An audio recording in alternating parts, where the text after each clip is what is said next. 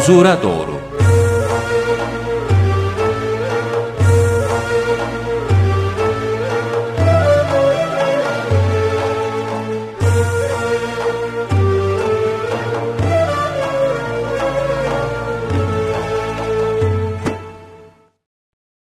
Sevgili izleyicilerimiz. Yeni bir programla daha sizlerle birlikteyiz. Her zaman olduğu gibi Osman Ünlü hocamız var yanımızda. Yine kendisiyle sohbet edeceğiz ve sizlerin merak ettiği konulardan birini daha soracağız.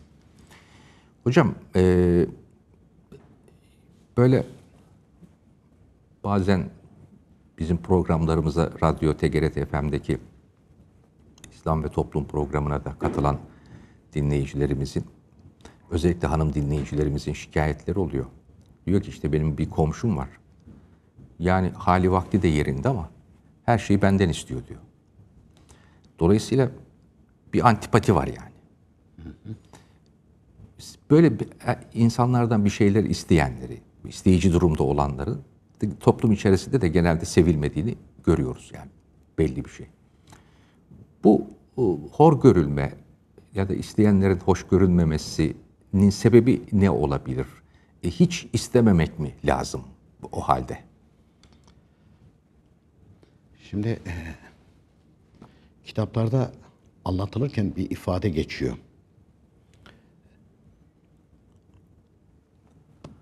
İstemek zillettir.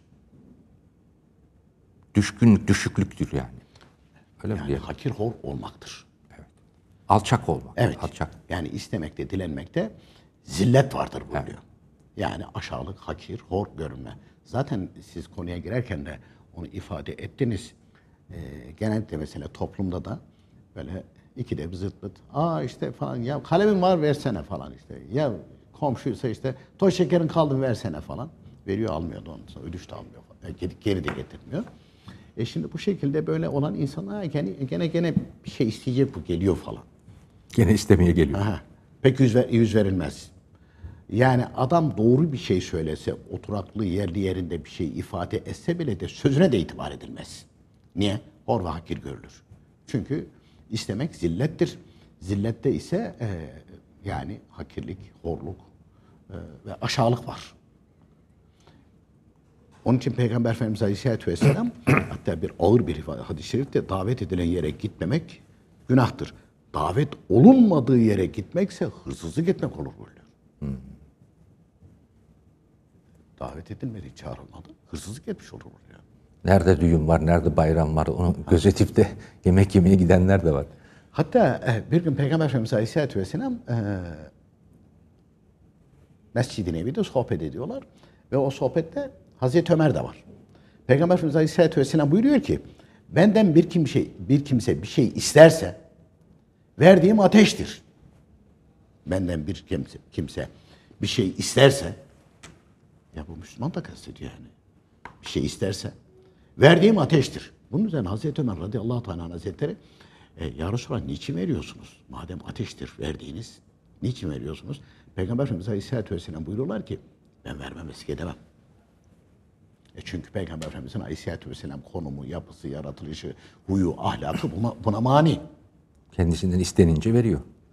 Ben diyor e, yani bir şey istenince ancak vermemesi, vermemesi edemem. Ama e, benden de bir şey isterse o da verdiği de ona ateştir buyuruyor. Hatta bir seferinde Hazreti Ömer'e bir hediye gönderiyor Peygamber Efendimiz Aleyhisselatü Vesselam. Pe- e, Hazreti Ömer de almayıp geri gönderiyor. Daha sonra karşılaştıklarında Peygamber Efendimiz niçin almadın diye Hazreti Ömer'e sual ediyor. Hazreti Ömer de ya Resulallah en hayırlınız kimseden bir şey almayandır buyurmuştunuz. Bunun için almadım deyince Resulullah Efendimiz buyuruyorlar ki o sözüm isteyip de almak içindi. Hmm. İstemeden gelen şey Allah-u Teala'nın gönderdiği rızıktır buyurdu. Bunun üzerine Hazreti Ömer de Allah-u Teala'ya yemin ederim ki kimseden bir şey istemeyeceğim ve istemeden gelen her şeyi de alacağım diyor. Kimseden bir şey istemeyeceğim. Hatta e, bu hali çok iyi anladıkları ve hayatlarına geçirdikleri için Hazreti Ebubekir radıyallahu teala hazretleri bir gün böyle e, devenin üzerinde yani yolculuk yapıyorlar.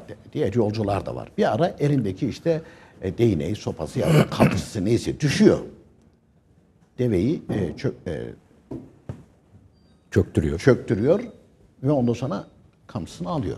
Arkadan koşarak geliyorlar. Diyorlar ki efendim bizden isteseydiniz biz verirdik. Bizden isteseydiniz biz verirdik. Peygamber Efendimiz Aleyhisselatü Vesselam bize kimseden bir şey istemeyiniz buyurdu. Hayatlarına geçirmişler bunu. Yani sözde tamam biz duyduk Peygamber Efendimiz Aleyhisselatü Vesselam böyle yaptı. Ama öyle, böyle yaptı, böyle buyurdu. Onu hayatına geçiriyor. Önemli olan da o. İslamiyet'te maksat da odur zaten Mustafa Bey. Hayatına geçirmiyorsun. Efendim ben işte seller sular gibi Kur'an-ı Kerim'i biliyorum. Manasını da biliyorum. Sen nereden sorarsan ben sana cevap verelim. Ya ama adam yalan da söylüyor, gıybet de ediyor. Ondan sonra verdiği sözü tutmuyor. E, her türlü aynı şekilde gayrimeşru işlerin içerisine giriyor. Harama helale dikkat etmiyor. Beş para etmez onun o bilgisi. Çünkü ilim amel etmek içindir. Amel de ihlas da bunu yapmak içindir. Yoksa yoksa bir faydası dokunmaz buyuruluyor. Eshab-ı kiramdan Ebu Said Hudri Hazretleri başından geçen bir hadiseyi şöyle naklediyor bu zat. Bir gün diyor annem beni Resulullah Efendimiz'den bazı şeyler istemem için gönderdi. Resulullah Efendimiz'in huzuruna varıp oturdum. Mübarek yüzünü bana çevirerek kim sahip olduğu şeye kanaat ederse Allahu Teala onu başkasına muhtaç etmez. Kim çirkin şeylerden sakınırsa Allahu Teala onu iffetli eyler. Kim sahip olduğu şey ile yetinirse Allahu Teala ona kafidir. Kim bir ukiyelik miktarında bir şeye sahip olduğu halde başkasından bir şey isterse devamlı isteyici olur buyurdu. Ben kendi kendime falan devemiz bir ukiyeden daha iyidir dedim. Hiçbir şey istemeden Resulullah Efendimizin huzurundan kalkıp gittim buyuruyor. Ebu Said Hudri radıyallahu teala hazretleri. Mevlana Celaleddin Rumi Hazretleri başkalarından bir şey istemeyi tale- talebelerine yasak eder ve buyurmuş ki başkasına el açık bir şey isteyen bizim talebemiz değildir. Ona dünyada da ahirette de şefaat etmeyiz ve ondan uzak dururuz. Biz talebelerimize daima vermeyi, ihsan ve ikramlarda bulunmayı, herkese karşı tevazu üzere bulunmayı, tatlı sözlü, güler yüzlü olmayı tavsiye ediyor- ediyoruz. El açıp istemek bizim yolumuzda yoktur. E şimdi adam ben Mevleviyim diyor, ben Kadiriyim diyor, ben bilmem Nakşiyim diyor, ben bilmem ne diyor. Ver bakalım paraları diyor. Değil mi? Habire istiyor. Habire istiyor. Şimdi dinin bildirdiği bu, senin aynı şekilde icra ettiğin bu. Ha, ortaya bir eser korsun, anlatırsın, yardım eden gelir. Yardım etmek isteyen kendi isteğiyle gelir. Ama sen zorla aynı şekilde, zorla bunlara aynı şekilde bunlardan bir şey talep edersen, istersen ve bunu da din adına yaparsan, din böyle emretmediği halde dinin emrettiği bir yolla bunu talep edersen daha sonra nefret edilen kişi olursun. Yani bu ülkede olmamış mıdır? Yok zekatını bana ver, fatrını bana ver, kurbanını bana ver. Sana şu kadar kurban, sana şu kadar zekat yazdım, sana şu kadar fıtra yazdım. Ver bakalım bunları. Sonra altıcı bunların hepsi de aynı şekilde. Bağlar Gazeli. Bağlar gazeli çıktı tabii. Altısı aynı şekilde maalesef öyle çıktı. Ee, allah Teala muhafaza eylesin. Ee, allah Teala muhafaza eylesin. Ve e, bunlara alışan bir kimse, başkasından istemeye alışan bir kimse. Hani Resulullah Efendimiz'in buyurduğu gibi devamlı isteyici olur, isteyici olur. Hakir, zelil olur. Vallahi öyle oluyor. Hakir ve zelil oluyorlar. Milletin parasını tokatlıyor şu veya bu şekilde. Hangi şekilde olursa olsun. Bunlar dolandırıcılıktır. Bunlar dolandırıcı. Abdülhamit Han mıydı? Yabancı birisi hani borç para istiyor başka bir devlet. Bugün para isteyen yarın emir al, alır diyor yani. Tamam. Eh, Doğru söylüyorsun. Yahya bin Muaz Razi Hazretleri de buyur ki insanı Allahu Teala'dan uzaklaştıran şeyleri aramakta, istemekte kişiler için zillet, ahireti aramakta, istemekte ise izzet vardır. Yani ahireti talep ediyorsan izzet var. Ama dünyalık talep ediyorsan burada da zillet vardır. Ebu Osman e, Hiri Hazretleri de dünyayı sevmek Allah sevgisini kalpten götürür. Allah-u Teala'dan başkasından korkmak Allah korkusunu kalpten çıkarır. Allahu Teala'dan başkasından istemek Allahu Teala Allahu Teala'ya olan ümidi kalpten uzaklaştırır buyuruyor. Onun için eee hadis-i şeriflerde de buyurulduğu gibi eee, dinimiz buyuruyor ki istemekte zillet vardır ve hakaret vardır, horluk vardır. Dikkat etmeli. Ha istemeden gelirse bu da Allah Teala'nın gönderdiğidir buyuruyor. Peki efendim çok teşekkür ediyoruz. Sevgili izleyicilerimiz bugün de Osman Ünlü hocamız önemli bir konuda bize bilgiler verdi. Bir sonraki programda yine beraber olacağız. Başka bir konuyu sormak üzere. Şimdilik hoşçakalınız. Sevgili Peygamberimiz buyuruyorlar ki, namaz kılmayanın diğer amellerini Allahü Teala kabul etmez. Tövbe edinceye kadar da Allah'ın himayesinden uzak olur. Din ile ey dertli gönülin ile Ehli derdin yiyecek çağırır Gel tımar et yaremi sen aşk ile Yarelerin onulacak çağırır Den bu den, den bu den, den bu dendir den bu den Gün bugün, gün bugün, gün bugündür gün bugün. Şol gafletle yatıp etmez tare Gövdesinde yok mu olacağın acep? İşte vahdet gülleri açıldı hep Bülbülün efgan edecek çadır Den bu den, den bu den, den bu dendir den bu den Gün bugün, gün bugün, gün bugündür gün bugün.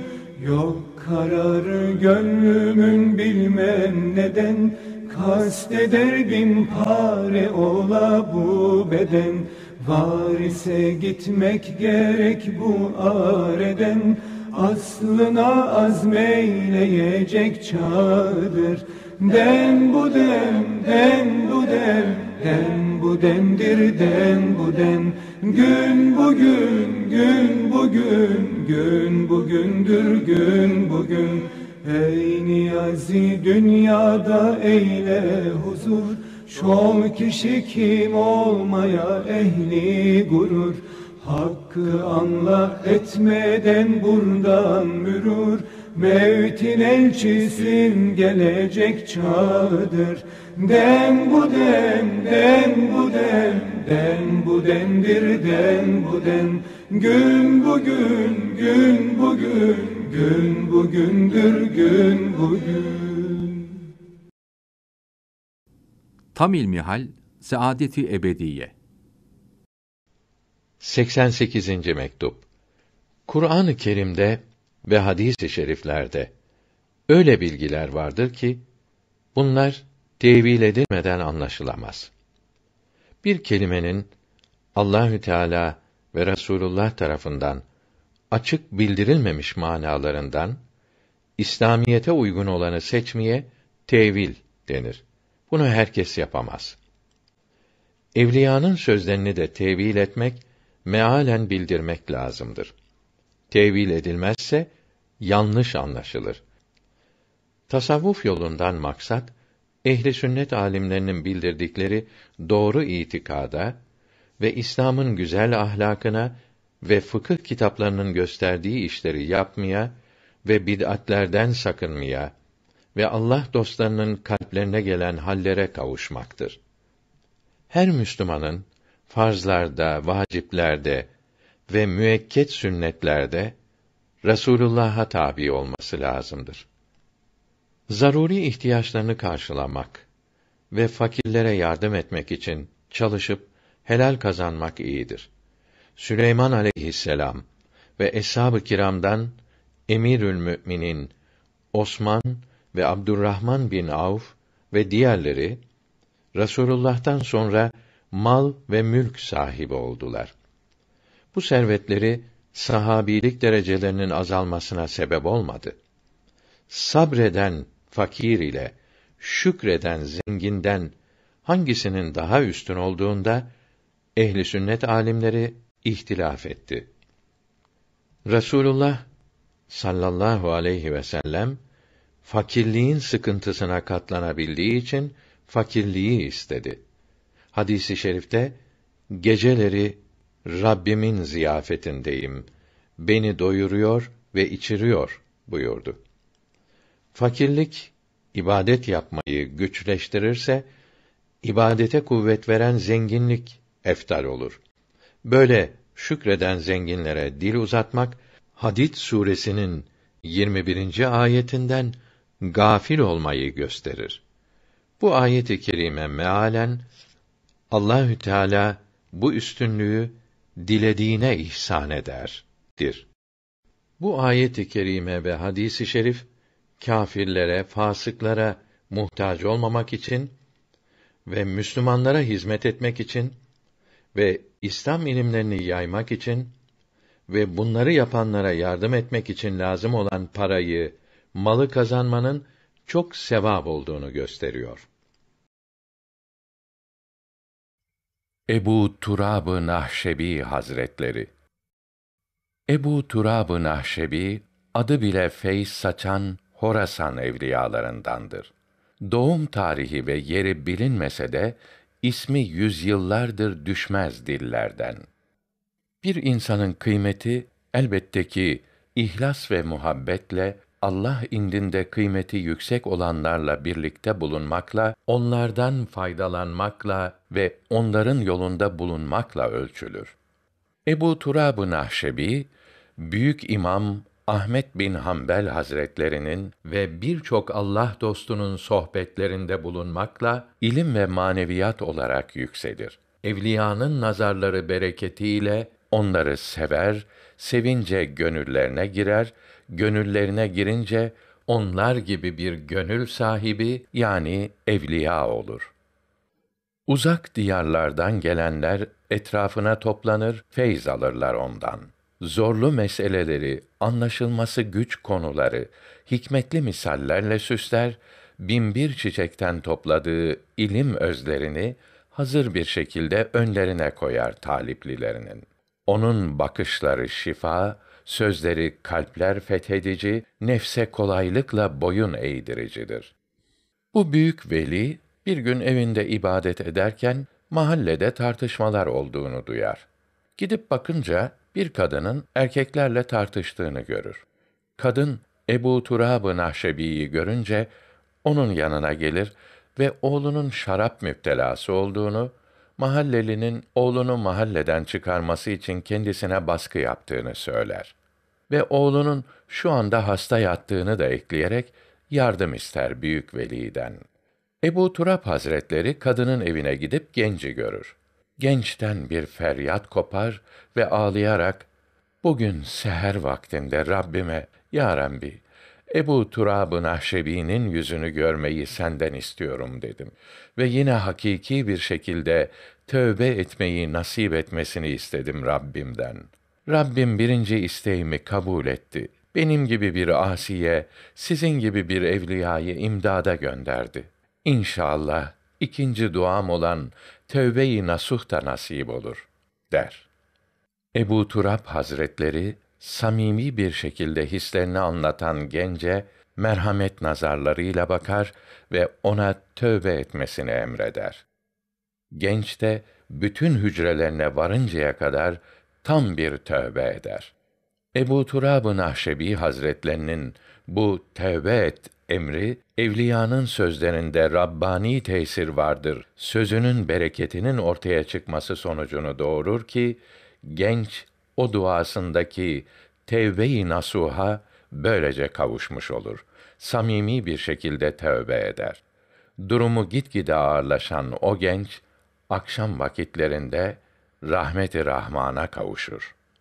Bu menkıbe Rabbine samimi bir şekilde iltica edenlerin kavuşacakları dereceyi bildirmesi açısından tarihlere geçecek bir gelişmeyle devam eder. Şöyle ki, tövbekar gencin öldüğü gece Ebu Turab-ı Nahşebi Hazretleri alemlerin efendisi sevgili peygamberimizi sallallahu aleyhi ve sellem ve ülül azm peygamberlerden Hazreti Musa ve Hazreti İbrahim'i rüyada görür. Efendimiz aleyhisselam ona tövbekar gencin nasıl bir saadete kavuştuğunu şöyle müjdeler. Buyurur ki sevgili peygamberimiz, Ey Ebu Turab! Dün senin elinde tövbe eden genç bu gece vefat etti. Allahü Teala onu dostları derecesine kavuşturdu. Ona evliyalık makamı ihsan eyledi. Beni ve 120 bin küsur peygamberi onu ziyarete gönderdi. Ey Ebu Turab! O gence izzet gözüyle bakın. Cenazesinde hazır bulunun. Emrini verir.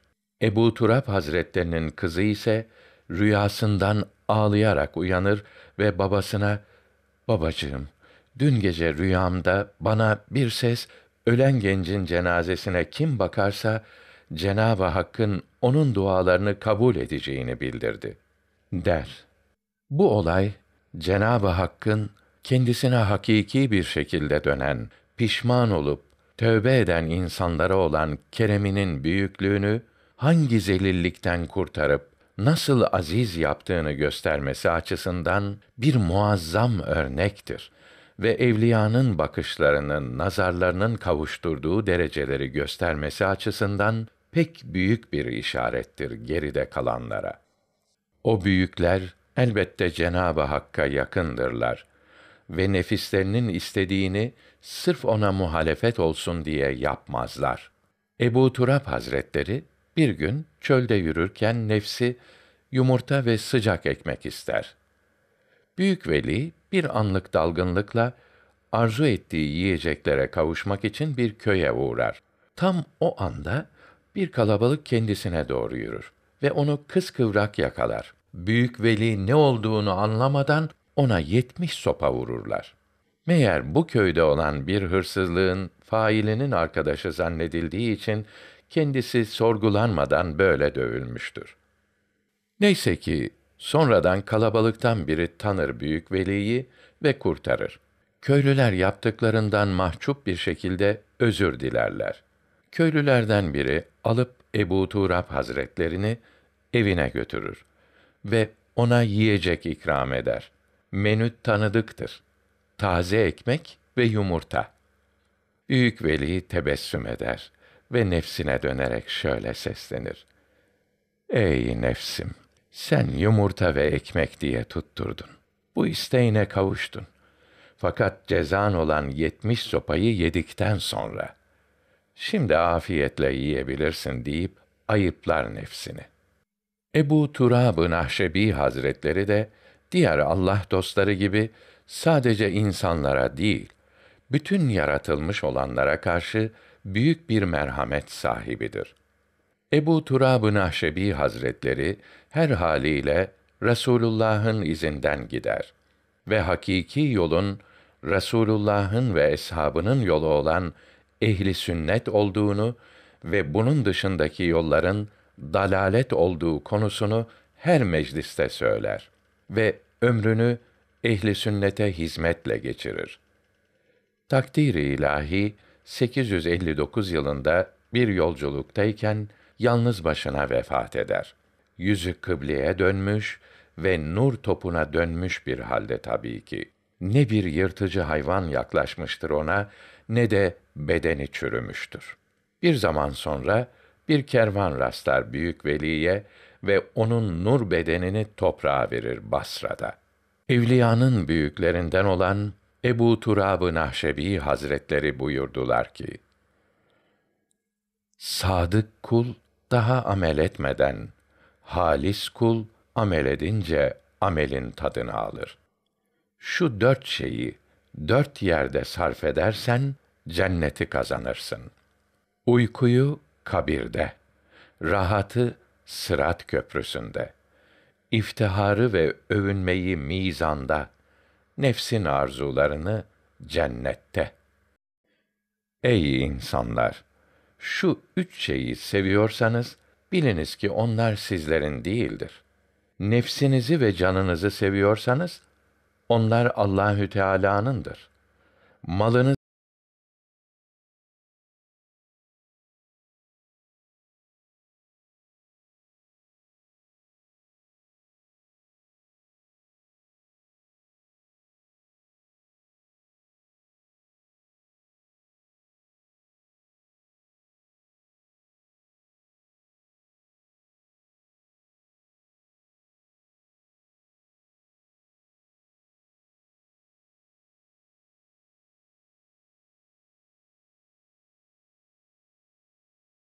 atıp kalbini Allahü Teala'ya bağlamaktır. Verirse şükür, vermezse sabretmektir. İslam ahlakı Tefekkür etmemek. İnsanın günahlarını düşünmesi ve bunlara tövbe etmesi, taatlerini, ibadetlerini düşünüp bunlara da şükretmesi lazımdır. Mahluklardaki ve kendi bedenindeki ince sanatları, düzenleri, birbirlerine olan bağlılıklarını düşünerek de Allahü Teala'nın varlığını ve büyüklüğünü anlaması lazımdır. Mahlukların, varlıkların hepsine alem denir. Hadis-i şerifte varlıklardaki nizamı düşünerek Allahü Teala'ya iman ediniz buyuruldu. Astronomi okuyup da yer küresinin, ayın, güneşin ve bütün yıldızların boşlukta dönmelerinde ve birbirlerinden uzaklıklarında bulunan düzeni, hesapları anlayan kimsenin imanı artar. Dağların, madenlerin, nehirlerin, denizlerin, hayvanların, nebatların, hatta mikropların yaratılmasında çeşitli faydeler vardır. Hiçbiri boş yere lüzumsuz yaratılmamıştır. Bulutlar, yağmurlar, şimşekler ve yıldırımlar, yer altındaki sular ve enerji maddeleri ve hava, kısaca her varlık belirli hizmetler, belli vazifeler yapmaktadır. İnsanlar bu sayısız mahlukların sayılamayacak hizmetlerinden bugüne kadar pek azını anlayabilmiştir. Mahlukları kavrayamayan insan aklı bunların halikini, yaratanını nasıl kavrayabilir? Onun büyüklüğünü, sıfatlarını biraz anlayabilen İslam alimleri şaşkına dönmüşler. Onu anlamak anlaşılamayacağını anlamaktır demişlerdir. Allahü Teala hiçbir şeyi batıl, faydasız yaratmamıştır. İnsanların anlayamadıkları, göremedikleri faydeler anlayabildiklerinden kat kat daha çoktur. Tefekkür dört türlü olur demişlerdir. Allahü Teala'nın mahluklarındaki güzel sanatları, faydeleri düşünmek ona inanmaya ve sevmeye sebep olur. Onun vaad ettiği sevapları düşünmek ibadet yapmaya sebep olur. Onun haber verdiği azapları düşünmek ondan korkmaya, kimseye kötülük yapmamaya sebep olur. Onun nimetlerine, ihsanlarına karşılık nefsine uyarak günah işlediğini, gaflet içinde yaşadığını düşünmek Allah'tan haya etmeye, utanmaya sebep olur. Allahü Teala yerlerde ve göklerde bulunan mahlukları düşünerek ibret alanları sever. Hadis-i şerifte tefekkür gibi kıymetli ibadet yoktur ve bir an tefekkür 60 sene ibadetten daha hayırlıdır buyuruldu.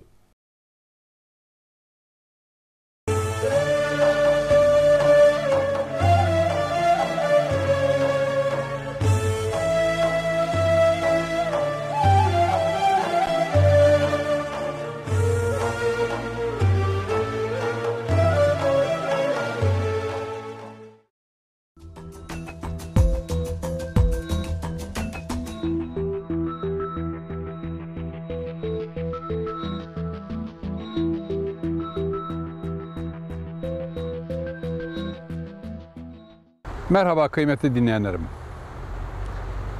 Bugün de sizlere Kırklareli ilinin Şirin ilçesi Lüleburgaz'dan sesleniyorum. Önünde bulunduğum köprü Lüleburgaz'daki tarihi 1569'larda yapılmış tarihi Sokollu Mehmet Paşa Köprüsü. Düşünün İstanbul'la Edirne arasındaki, Filibe arasındaki, Belgrad arasındaki Ana otoban bu. O zamanın otobanı efendim. Çok hassas bir yere yapılmıştır.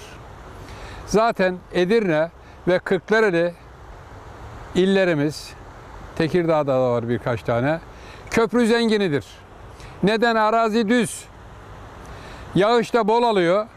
Edirne'nin 11 tane köprüsü olduğu söylenir. Sade içerisinde 9 tane köprüsü var. İki nehrin birleştiği yer. Osmanlı bu kadar suyu bol yeri öyle köprülerle donatmış ki harekata hiçbir engeli yok. Üstelik de çok büyük katkısı var. Efendim Yunanistan'a doğru, Yunanistan hududunun içine doğru da o bölümlerin hepsinin arazisi böyle. Ben bu taraftakini biliyorum, öbür taraftakine işte uzaktan baktım. Meriç Nehri'nin etrafında seddeler vardır. Bu seddelerle taşkınları önlemeye çalışmışlar. Hem Yunanistan'la hem Türkiye içiyle e, iki taraftan topraktan yapılmış duvar. Buralardan bu su motorları çıktıktan sonra sulama motorları nehirden suyu emiyor, seddenin üstünden aşıyor, tarlasına götürüyor. Bu ise zor geliyor. Motor bir daha güç istiyor ya seddeyi çıkmak için. Maalesef bu seddeleri Yunanistan tarafında da, Türkiye tarafında da insanlar böyle kanallar açarak kendi tarlalarına motorla suyu daha rahat götürelim, daha ucuz götürelim istemişler. Bugün o bölgede yaşanan taşkınların birinci sebebi o değil. Birinci sebebi şu anda burada gördüğümüz, biz tabii kötü yerleri mümkün mertebe göstermeyi istemeyiz. Herhangi bir idarecimizi zor durumda bırakmayı hiç istemeyiz. 14 senedir istemedik, bugün de istemeyiz. Ancak şu gördüğümüz kamışlıklar olsun, çeşitli kavak sürgünleri, sürgünleri olsun. Bunlar zaman içerisinde bu kanalın, derinin olduğu, derenin olduğu şu kanalın su debisini daraltıyor gideceği yeri. Bunlardan bazıları kuruyor, geliyor köprünün gözüne çakılıyor kalıyor. Büyük bir söğüt ağacı mesela yuvarlana yuvarlana geliyor. Önünü kapatınca bunu bir baraja döndürüyor. Köprüde tabii böyle bir barajı taşıyacak e, bir statik hesapla yapılmamıştır. Köprü devrilebiliyor. Bu Mimar Sinan zamanında da olmuştur. Kemerburgaz'daki uzun kemer bir şiddetli yağmurda, üç gün üst üste devam eden şiddetli yağmurda koca bir çınar ağacını söküp getirmiş önünde yuvarlaya yuvarlaya, dalları kırıla kırıla ve kemerin deliklerine tıkamış. Kemerde koca bir baraj meydana gelmiş, geçici baraj, sonra da oradan yıkılmış. Burada da şimdi böyle dalların suyun geliş istikametinde birçok yerde durduklarını görüyoruz. Bunlar 3-5 ameleyle bilhassa şehrin içinde bu oluyor. Şehrin daha ilerisinde bu şekilde naylonlar onlar bunlar olmuyor. Böyle bir bakım hem biraz suyu rengi bulanık bulanık işte bunu da Ergene Havzası olarak hükümet ele aldı. Büyük bir masraf yaparak e, burayı kazanmaya çalışıyor. Bunlar da bu arada giderse çok daha güzel olur. Bu köprünün uzunluğu 90 metre. Yani karayolu köprüsü olarak da bugün yine başa güreşen köprülerden birisi. 90 metre. Genişliği 7 metre. Yani genişliğinin kullanım alanı. Yanlardaki şu çıkıntılar, hafif balkonumsu yerler hariç. 4 tane gözü var. Bir de yanlarda üçer tane bir kısmı toprağa karışmış. Su çok yüksek gelirse biraz daha yükseldiğinde yanlardaki deliklerden de gene aksın gitsin ama köprüye zarar vermez için savaklar konmuş. Savak gözleri bunlar. Şimdi burada gördüğümüz şu aralarda hemen hemen 10 metreye bir gözü oturtabilmiş, bir kemeri oturtabilmiş. Yani 10 metre açıklığı olan bir kemer büyük bir kemerdir efendim. Köprünün şurada bulunduğumuz ayağının iki yanında iki tane kare delik görüyoruz. Sanki oradan bir tane taş çıkarılmış gibi hazineciler falan saldırdı demeyelim. Yok bunda. Osmanlı hiçbir eserine altın gömmemiştir. Hazine gömmemiştir. Efendim niye gömmüş? Gömmüş ki yarın öbür gün e, bir sıkıntı olursa, bu yıkılırsa onu yeniden yapsın. Niye yapsın canım? O bize bunu miras bıraktı mı? Bıraktı. Akıl kârı mı yani? Mirasçına bırakıyorsun, güzel bir eser. Bir de içerisine altın gömüyorsun ki işi rast gitmezse bu altından gene istifade etsin. Hiç umurumda olmaz. Madem ki bu köprüyü kullanamadı, harap olmasına sebep oldu, parasını da bulsun yapsın. Yoksa böyle bir hayata razıdır, o perişanlığı çeksin. Onun için tarihi eserlerimize saldıranlar yanlış yapıyorlar. Birçoğu da kazalarda ölüyorlar. Kepçe ağzına takılıp ölenleri de var. Kepçenin taktığı taşın yuvarlanmasıyla ölenleri de var. Bu işler bu kadar kolay değil. Alın teriyle kazanmak elbette ki hepsinin daha makbulü. Hem helali hem makbulü. Yazık günah ata yadigarı eserlere saldırmayalım. Şimdi yukarıdan bir demir boruyla su geçirilmiş. E ne yapsın şehir şimdi? Bir suyu geçirecek buradan. Bu dereden geçirecek. Ama oradaki seyir balkonu daha doğrusu kitabe köşkü deniyor. O hanımefendinin geçtiği yerin yakındaki yer kitabe köşküdür. Orada bu köprünün yapanı, yaptıranı, yaptırana duası hepsi vardı. Nerede köşk? Gitmiş. Niye? Yazılı taş. Belki para eder diye birisi alır götürür. Ne zaman? Belki 50 sene önce götürdü. Belki 100 sene önce götürdü. Maalesef eser yapamayanlar eser çalarlar efendim. Eser yapanlar ise onu çalmaya tenezzül etmezler. Ben bunun daha çok fazlasını yaparım derler. Onun için Edirne ile İstanbul arasında bugün de bu köprü kritik bir geçiştir. Allah korusun e, diğer geçişte bir diğer geçişi daha var bunun. Bugünkü betonarme ile yapılmış. O geçişlerde herhangi bir şey olsa, bir kaza olsa, bir yıkılma olsa can kurtaran. Ben yıllardır gördüm. Büyük Karıştıran Köprüsü'nün karşısındaki betonarme karayolları köprüsü. Ayakları yıkıldı.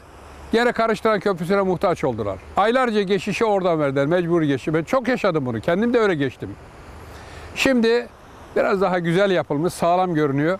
İnşallah öyle kazalar olmasın. Efendim bugün böyle getirdi. Tabii ki bugün böyle getirdi. Ama yaptığımız zaman sağlam yapalım. Zemin etüdünü iyi yapalım. Şimdi bu köprünün hemen yanında şu kavak dallarının yanına kadar uzamış köprüden yan istinat duvarı konmuş. Tarihi duvar oradaki taşlar. Ona kadar da köprüden aşağıdan dere yatağına taşlar döşenmiş. Hani sel oyup da köprünün ayağını zayıflatmasın, altını çökertmesin diye. Köprünün şimdi üstündeki taşlarda su birikiyor. O biriken sular eğer şu ayakların içine gidiyorsa orayı zayıflatıyor. Zayıflatmasın diye bu iki tane kareyi yapmışız. Köprüden sızan sular, zeminden sızan sular köprünün bünyesinde hiç kalmıyor. Aşağıya tahliye oluyor. Diğer gözlerinde de böyle delikler olması lazım. Ha birisi kapattıysa onu bilemem. Şuralardaki iki kemerin arasındaki çıkıntı, külahımsı bir şey duruyor. Bunların suyun geliş istikametinde olanları daha sivri, şöyle sel yaranlar şeklindedir. Yani sel gelirken gözlere taksim etmede onun çok faydası oluyor. Takılan eden ağaçların da bir yanlardan düzelip de oradan akıp gitmesini sağlıyor. Bu Türklerin köprü mimarisinde buldukları güzel bir sistemdir. Gördüğünüz gibi tamamıyla kesme taştan yapılmış. 1569'dan bugüne kadar da duruyor. Ayakta altından da bu sular akıyor ama savakların iki tarafını da biz önünü doldurmuşuz efendim. Niye doldurdun kardeşim? O savakları da doldurma. Yarı yarıya kemerin birisi ileride gömülmüş. Onu da gömme. Aç ki yarın bir gün buna Allah korusun bir felakette muhtaç olursak bunun başka bir çözümü yok. Kalacaksın oya kadar. Hadi askeriyeden zırhlı personel taşıyıcı çağıracaksın da o selin içinden Edirne'de zaman zaman oluyor. Oradan oraya geçiş sağlayacaksın. E bunu doldurma. Bunda tedbir al. Buna rağmen de daha büyük bir felaket olursa ona söyleyecek bir şeyimiz yok. Bizi aşan bir şeye itirazımız da yok, isyanımız da yok. Sokullu Mehmet Paşa bugün Macaristan'ın toprağı olan efendim Estergon Kalesi'ne giderken Peşte tarafında yani Peşte yakasında Tuna'nın batı yakasında ve Peşte'ye 20 kilometre mesafede solda yüksekçe bir dağ var. Vişegrad Kalesi var orada. Onun hemen arkası yani batıya bakan yamacında Sokoloviç köyü var. Sokoloviç köyünden gelmiştir. Sokullu değildir, Sokolludur. Sokol çünkü. Sokoloviç oğlu. Maalesef kitaplarımız, birçok kültür kitaplarımızda bunu Sokullu diyor. İnternete giriyorsunuz, o da Sokollu'yu tanımıyor, o da Sokullu'yu tanıyor. Niye? E, internetteki siteleri hazırlayanlar da bu kitaplardan alıyorlar. U mu O mu? Aa, işte kitapta yazıyor U. Halbuki oradan gelme. Osmanlı'da devşirme iki türlüydü. Bir ordunun ihtiyacı olan asker yetiştirecek kimselerin devşirilmesi 8 ile 18 yaş arasındaki erkek çocuklardan bir aileden bir tane alınırdı. Bir sefer alınırdı, bir tane alınırdı. Bunlar özel eğitimlerden geçer, Aceme olan ocağına gelir, orada da askeri eğitimleri alır. Ondan sonra da bunlar bu askeri eğitimde de başarılı olurlarsa listeleri padişaha götürülür. Padişah da bunları Yeniçeri olarak atamasını yapardı. Yani inhasını yapardı. Yeniçeriler Osmanlı'nın subaylarıydı. Onlara nefer gözüyle bakmayalım. Subaylarıydı. Yani subay bölükleriydi bunlar. Dolayısıyla böyle bir devşirme usulü vardı. Bir de yüksek zekalı, yüksek kabiliyetli gençlerin devşirilmesi vardı. Bu gençlerin devşirilmesi, yüksek kabiliyetli gençlerin devşirilmesi, zeki gençlerin devşirmesini özel kimseler yapardı. Bunlar insandan anlardı. Bakar bakmaz gözündeki zeka pırıltısını anlardı. Bunlar hem Hristiyanlardan yapılırdı hem Müslümanlardan yapılırdı. Yani bütün imparatorluk coğrafyası dolaşır, dolaşılır ve oradan böyle bulunan kimseler nadirattan tabii efendim fevkalade bir yeteneği görülmesi lazım. Onlar İstanbul'a getirilir. Evvela Galatasaray Mektebi Sultanisi'nde veya İbrahim Paşa Mektebi denilen Enderun'un bir alt kademesi olan mektepte iyi bir eğitimden geçirilir. Sıkı bir eğitim vardı. Ondan sonra da oradaki sınavları geçenler de, imtihanları geçenler de Endor'a kabul edilirdi. Sokollu Mehmet Paşa böyle devşirilmiş birisidir. Yani Yeniçeri Ocağı'nda hiç hizmeti yoktur. Acemoğlan Ocağı'na gitmemiştir. Bunlar sadece ve sadece oradan özel devşirilmiş ki dayısı bir papazdı. Annesi babası vermek istemedi. Hele hele dayısı Müslümanlara böyle zeki bir genci kaptırmak istemedi. Çok endamlıydı efendim. Tavil Mehmet Paşa derlerdi. Boylu postuydu efendim böyle. Tavil uzun demek, boylu demek. Yani upuzun, kavak gibi manasına değil. Yani boyu normalinden uzun. Getirdiler eğitimden sonra kısa sürede Sokullu Mehmet Paşa sarayda yükseldi. Padişahın en yakınındaki görevlerden birisi olan, en mühim görev olan silahtarlık görevine geldi. Ömrü boyunca Sokullu Mehmet Paşa vefat edinceye kadar hiçbir zaman bir görevden alınıp aşağı göreve verilmedi. Hep böyle bir eğriyle, grafik eğrisiyle yükseliş yaşadı. En sonda şehadet şerbetini içerek en yüksek rütbeye geldi. Makamında, görev esnasında bir meczup tarafından kendisi hançerlendi. Şimdi Sokullu Mehmet Paşa'yı anlatacağız. Çünkü Lüleburgaz'ın Sokullu Mehmet Paşa büyük bir e, kimsedir. Hakikaten şu şehrin mayası olmuştur, onun külliyesi. Ama onu da ilerideki bazı eserleri anlatırken Sokullu Mehmet Paşa'ya gene temas edeceğiz. Kardeşlerini getirmesi var, onların da Müslüman olması var. Onlara ayrı anlatacağız. Şimdi buradan Bizans'ın Burgos Kalesi iken Burgos Kalesi iken olan bir surları var. O surlardan bir parçacık bulduk. Size o tarihi surlarda gösterelim de yolunuz düşerse Lüleburgaz'dan alışveriş edecekseniz edin de bu tarihi yerlerde gelin görün. Bunların faydası var efendim. Bizzat ben kendimde görüyorum yani. Bu eserlerle beraber olduğum zamanki halim bana göre biraz daha başka oluyor. Kıymetli seyircilerim, bir programımızın daha sonuna gelmiş bulunuyoruz. Hoşça kalınız efendim.